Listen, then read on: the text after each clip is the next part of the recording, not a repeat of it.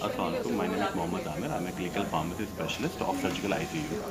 हम यहाँ पे आज डिस्कस करेंगे मेडिकेशन के हवाले से और एमएमयू से उसको लिंक करेंगे जब भी आपको कोई डॉक्टर ऑर्डर करता है, कोई मेडिकेशन ऑर्डर करता है और आपको अपने वर्ड स्टॉक से निकालने के लिए medication you have to go through three process एक होती है वेरिफिकेशन एक होती है मेडिकेशन रिकन्सिलेशन और तीसरा होता है अप्रोप्रिएटनेस रिव्यू आज हम इसके ऊपर एक्सप्लेन करेंगे ये तीनों क्या क्या चीज़ होती है ताकि आपके जब भी जे या एम हो तो आपको ये समझ में आ रहा हो और आप एक्सप्लेन कर सकें।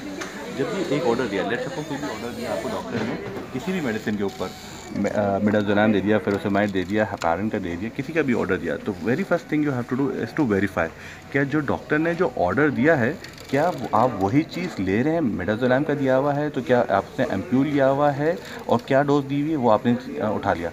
जो आपने उठाया है it is being verified it is being verified with the doctor's order this finish the first step of verification ठीक है?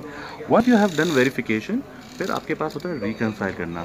रिकनसाइल ये होता है रिकनसाइल ये होता है जो आप ये देखते हैं कि पाँच मेडिकेशन के साथ कंपेयर करते हैं। लेट सपोज़ कि आपको मेडाजोलाम का ऑर्डर दिया हुआ है। आप ये रिकनसाइल करते हैं कि क्या भाई उसको एक दो घंटे पहले क्या मेडिकेशन मेडाजोलाम दी हुई थी या नहीं दी हुई थी? मोस्ट कॉमन जो एरर होता है वो पैरासीटामोल और और पेन मेडिकेशन के साथ होता है कि पैरासीटामोल का अभी ऑर्डर हुआ और फिर जब रिकनसाइल किया गया तो पता चला कि दो या तीन घंटे पहले उसको पहले भी एक पैरासीटामोल दिया। तो इससे इससे ड्रग डुप्लीकेशन एंड ओवरडोज हो जाती है, ठीक है?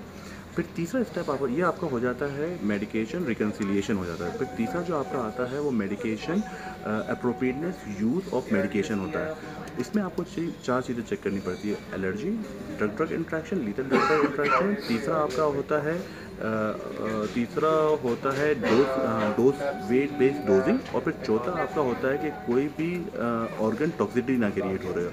लेट सपोज़ आपके पास पैरासीटामोल का ऑर्डर आया।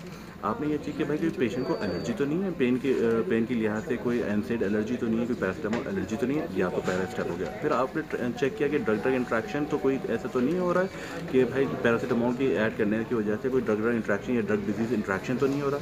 फिर थर्ड प्रोसेस आपका ये होता है, आपका थर्ड आपका थर्ड प्रोसेस होता है कि आप उसको वेरीफाई करते हैं कि कोई टी बढ़ा हुआ है या नहीं बढ़ा हुआ। अगर एस जी बढ़ा हुआ होगा तो आप उसके ऊपर फिर से कन्फर्मेशन करें क्या मुझे देनी है या नहीं देनी? This is what you call appropriateness of drug use ठीक है? Thank you very much